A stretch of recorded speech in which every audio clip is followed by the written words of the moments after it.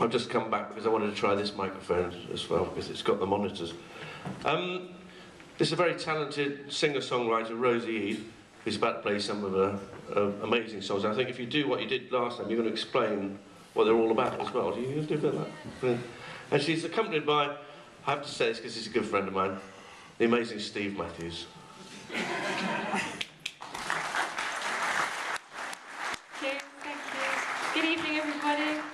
It's nice to see so many lovely faces. It's quite an awesome hall, really, isn't it, here?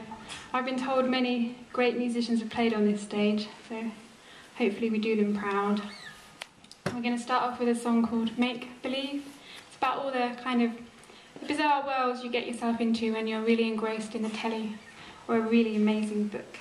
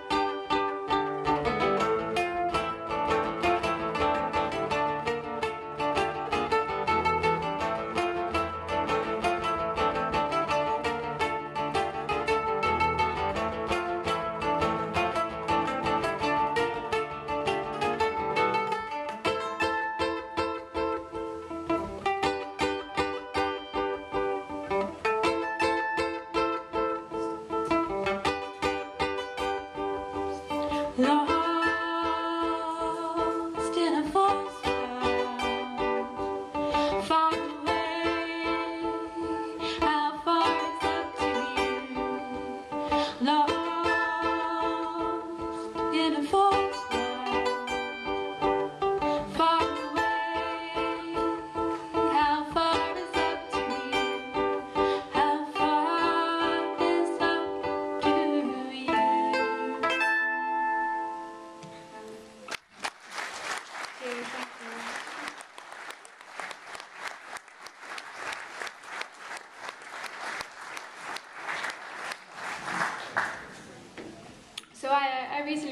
album.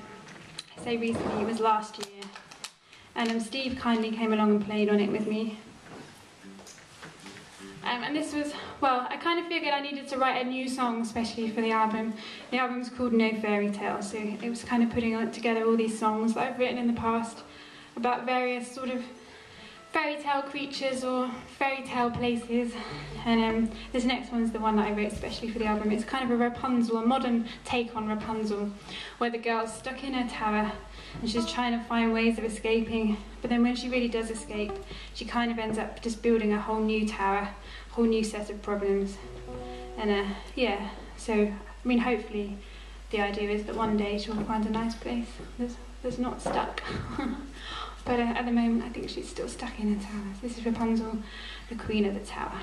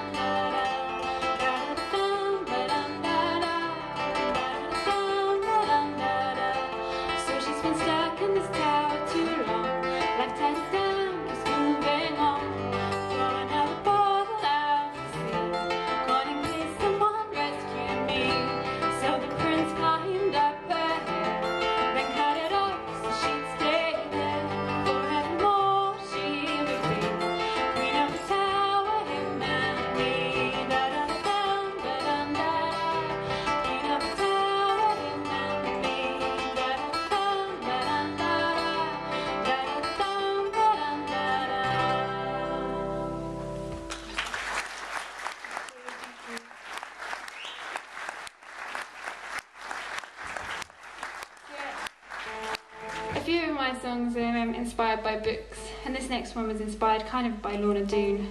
It's one of these books where you. Um, has anybody read Lorna Doone? Yeah, a few. It is a, it's a beautiful book in a way, but I got to the second to last page and thought, oh no, everything's completely going wrong. I, d- I don't want to read anymore, and I nearly threw the book away. And I thought, no, you've got to you've got to see what the writer intended. And then everything kind of changes around. You know, I don't want to spoil it for you if you haven't read it yet.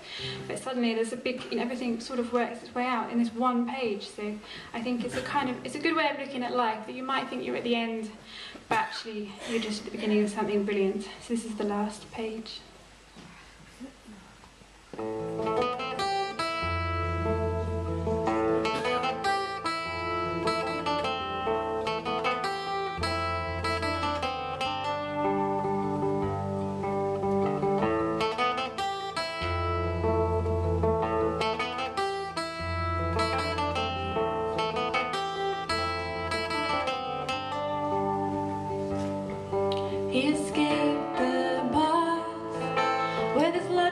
And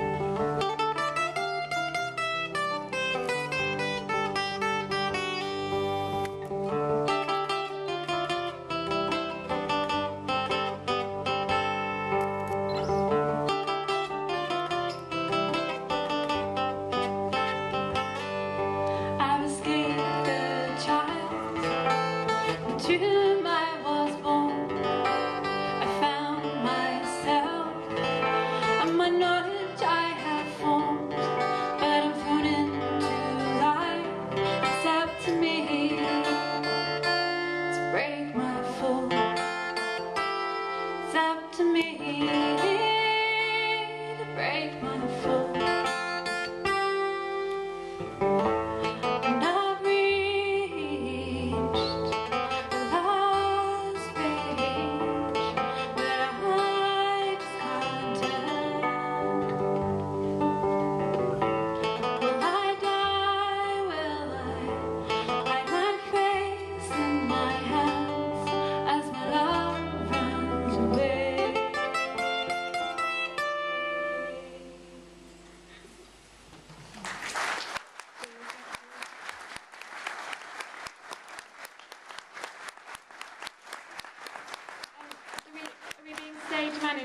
we got time for one more, or is that it? We'll do one more. Okay, we're going to finish off with one called The Fire. Is that right? Or is, is, are, we, are we done? Don't know what I didn't. Sorry, I will do a quick one. This is called The Fire. It's about love getting a little bit awry, but holding on anyway. And I want to say a big thanks to you all for coming up. Also, a big thanks to Peter from the Shoulder of Mutton for having us over to play. I'm, I'm from Devon, and Steve's come down from um, from North Wales, but it's always lovely to come to Wantage. So here's The Fire.